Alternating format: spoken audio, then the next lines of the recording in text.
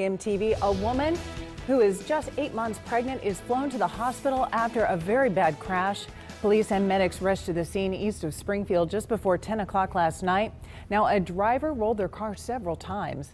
That driver and her two passengers both taken to the hospital.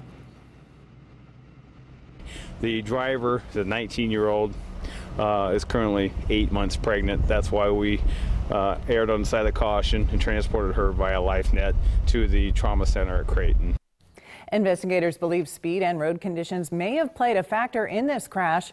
Police tell us gravel roads are always difficult to deal with, especially after rainy weather.